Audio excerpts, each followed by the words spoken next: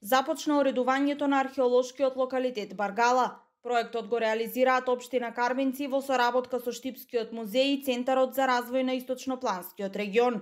Обезбедени се 6 милиони денари, а Обштина Карбинци учествува со кофинансирање од 10%, вели градоначалникот Паунов. Се работи за проект кој што заеднички со музеот го аплициравме преку Источен плански регион и успеавме да обезбедеме финансиски средства во висина од 6 милиони денари од страна на Бирото за регионален развој.